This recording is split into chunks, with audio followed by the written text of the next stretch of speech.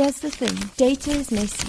It's head banging, swear at your screen, my data is never clean type of messy. So today I'm revealing the code that you should use when you have wow. messy data like this, where your headers start on different rows and you want to combine all these sheets into one. But first, let's look at the process you should definitely not follow to combine these sheets. Convert your data to tables, then name your tables. I've added the underscore 23. Open up a new workbook and in the data tab, click on get data from file from Excel workbook. I've copied the file path to my workbook. So let's paste it here and let's import it into Power Query. Let's select the folder for the pizza sales transactions and click on Transform Data. Then in the name column, set a text filter for ends with underscore 23 so that only your tables are returned. Select your name and data column, right click and select remove other columns. Expand your data column and uncheck use original column name as prefix and click OK. And yes, you have combined your tables. But do you really want to manually convert your data to tables, then rename the tables each time? This is not dynamic at all. So let's see what we can do to instead automate this entire process. In a new workbook, let's go to Data, Get Data from File, from Excel Workbook, and let's double click the Pizza Sales Transactions workbook to import it. And we have our folder with the sheets that we want to combine. Let's select the folder for pizza sales transactions and not the individual sheets as whenever a new sheet is added to this folder, we want our data to dynamically combine the new sheets in our query. And let's click Transform Data.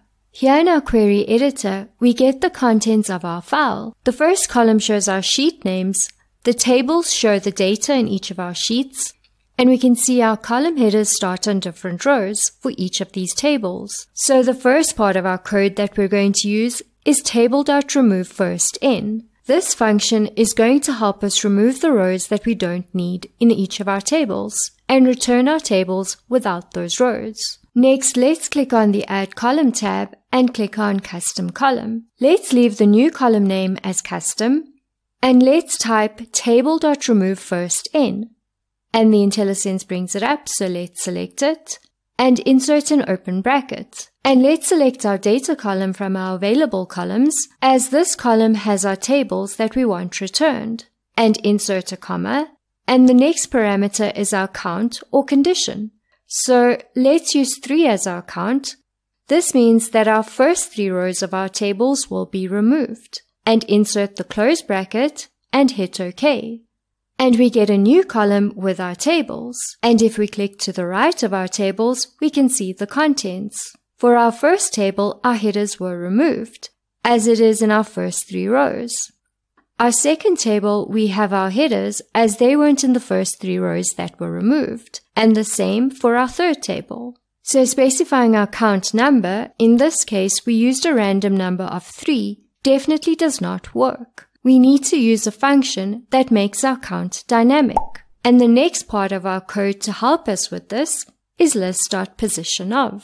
Let's go back to our custom column step and let's type list.positionOf in the place of the 3.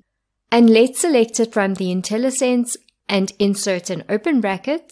This function finds the position of a specific value in a list and we needed to find the position of our date row in each of our tables. As remember, the date row is where all our column headers are in each of our tables. The first parameter list is the list that we need to search. We need to search column 1 as that's where date is and column 1 is here in our data column. And if we look at our icon on the left here, our data column is a column of tables.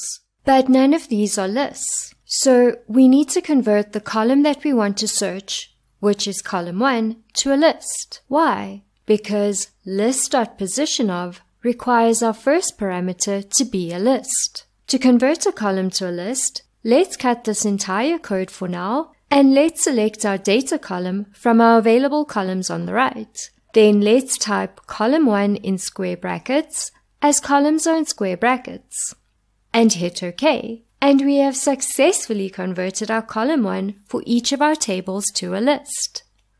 Let's go back to our custom column step and paste our code here that we cut. We need to paste it before our data column. Let's insert a comma after our last square bracket of column 1. The second parameter value is the value that we are searching for in our list. In this case, we are searching for date. This needs to be in double quotation marks as this is hard-coded text. And let's insert the close brackets. So we have our Table.RemoveFirstN with our two parameters. The first one is our table that we want returned. And the second parameter specifies the number of rows that we want removed using list.positionOf. List.positionOf contains our list that we want to search in our first parameter, which is column 1. Then it's converted to a list, and our second parameter has the value that we want to search, which is our date. And let's hit OK. And we get a new column with our tables where the rows above our headers were dynamically removed.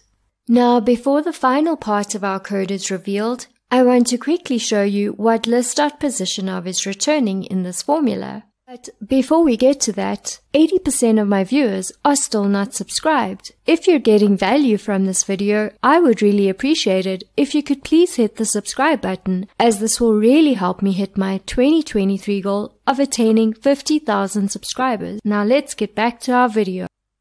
So let's go back to our custom step and copy the formula from list.positionOf until our second last bracket and let's click on our source step and click on custom column and click on insert.